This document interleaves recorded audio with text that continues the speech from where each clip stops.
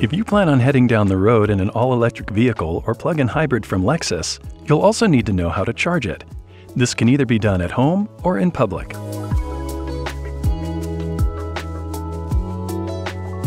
EV charging centers around three charging levels, each of which determines the equipment and location needs, as well as the time it takes to charge.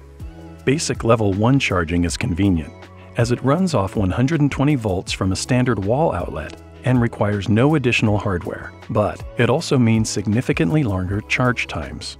That's why many owners prefer to upgrade their home with a level 2 setup, faster charging. To do this, a licensed electrician is needed since it requires a 240 volt power source, like those used by larger appliances, such as clothes dryers, as well as the purchase and installation of a home charging station. Level 2 charging is also commonly found at public stations. Additionally, you can access Level 3 DC fast charging stations in public as well. Level 3 isn't viable for residential use, but under ideal conditions, it can be the fastest option, providing direct current that skips the typical AC-DC onboard conversion step. When it comes to home charging, the process is fairly straightforward. Start by making sure you're parked with the vehicle's charging port within range of the charge source. For regular level 1 charging, plug the charge cable into the wall outlet. Most EVs come equipped with this level 1 cable, which is stored in the vehicle's cargo area. If your power source is a level 2 charger, simply remove the charge connector from the charging station. Now, whether level 1 or 2, insert the connector into the inlet ensuring that it clicks into place. A light will come on to indicate that charging has begun. If a specific charging schedule has been set, however, the vehicle will charge at the scheduled times instead. In this case, simply select Charge Now if you need to override the schedule and begin charging immediately. From here, you can monitor the charge progress, either through the vehicle's indicator light, its multi-information display, or remotely through the Lexus app. Just make sure your Lexus account and vehicle are linked and showing in the app, and that you're enrolled in an active Remote Connect trial or subscription. Additionally, you can set a schedule so that charging occurs at specific times, like when electricity rates may be lower. When the app or vehicle indicates that charging is complete, you're ready to hit the road.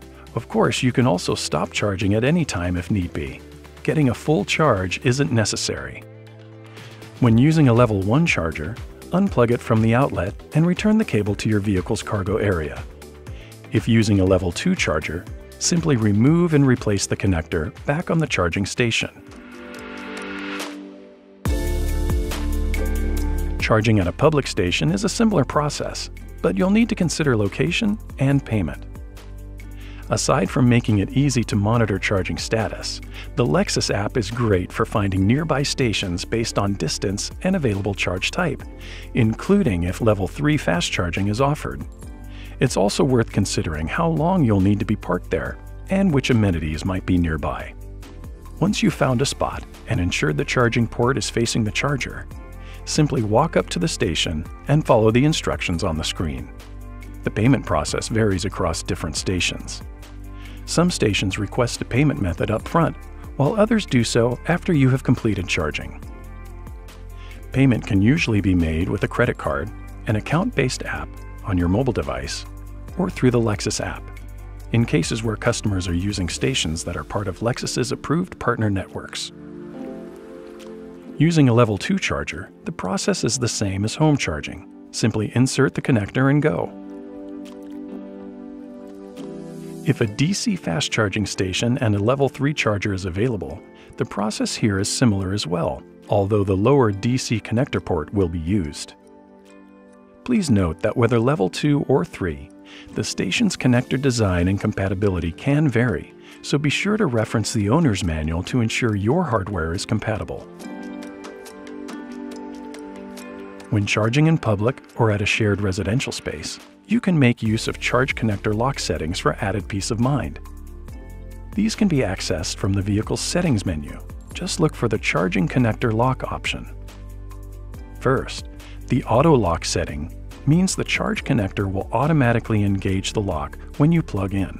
but it will not disengage until you unlock the vehicle. Next, with Auto Lock and Auto Unlock, the vehicle will automatically lock the charger when inserted, as well as automatically unlock it once charging is complete. This setting is especially convenient in areas where you don't want to tie up a charge plug once you're done charging. When the setting is off, the charge connector must be manually locked and unlocked. Visit lexus.com/electrified to learn more about Lexus's electrified lineup and see how easy getting into and owning a Lexus all-electric vehicle or plug-in hybrid can be.